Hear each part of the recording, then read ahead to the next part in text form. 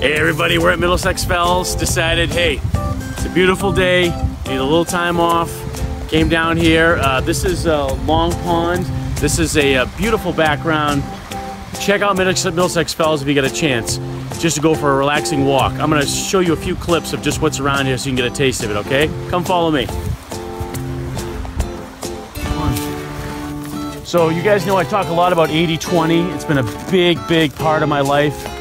And, um, you know, I've written about it, sent you books. Um, this is a big part of it too. Taking an hour a day, taking a half hour a day just to uh, connect with nature, get a little bit of uh, fresh air and not be looking at a computer screen, not be looking at a phone screen, and just being able to just balance yourself. It's gonna make you a better person when you're dealing with your kids, with your spouse, with your clients, with people that you work with. So totally recommend this and, and, and I'm just trying to live it to show you guys this is what you need to be doing and uh, you know in a lot of our meetings with clients I, what I'll do is I have a little a little line on my agenda form that says what are you doing for balance you know and I always ask people you know, they, and it's great because since I've been asking people, more and more people are telling me they're going for a walk, they are going to the gym, they are, you know, spending traveling more. It's been awesome. So you guys have really been impressed me with uh, how much more you're all, you know, maybe not even thinking about it, doing more more 80-20 in your life, getting the work done in, in less time, being more efficient, and spending more time with balance and enjoying things. So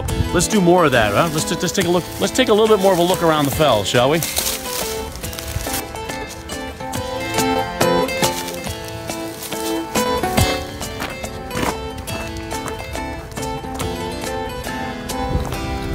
Right, so if you do come to the Fells, make sure you come here early to give yourself enough time because there's a good chance you'll probably get lost. And it's kind of exciting to get a little lost because it gives you a chance to see more stuff. And there's enough exits around here that if you do get lost, you'll find your way out. So give yourself that time when you come in here. Come early in the day.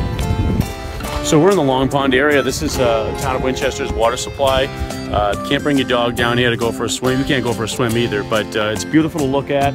And uh, there's uh, three ponds. So something that some of you may not know having driven by it, but I think you'll realize that once you think about it, is there's over 2,700 acres of of beautiful land here, reserve land, and uh, according to sources, over 80 miles of of walking and biking trails here.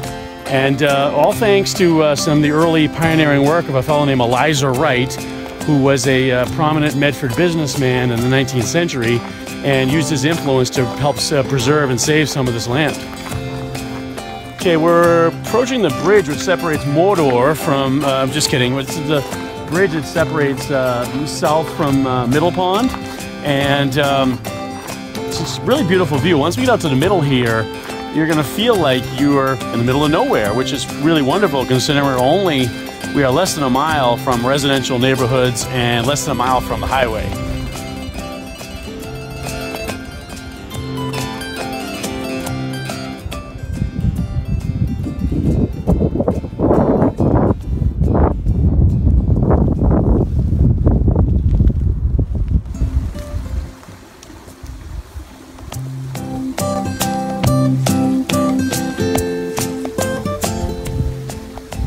Interestingly, um, being March 9th and all, this would no, a lot of times normally in the past, this would be frozen.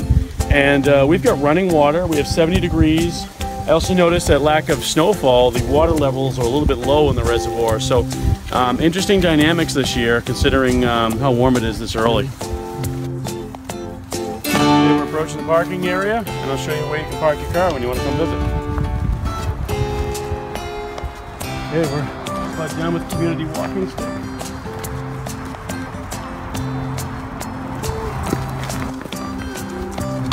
Hey, thanks for joining me today at the pond. If those of you curious where I parked, there it is right there.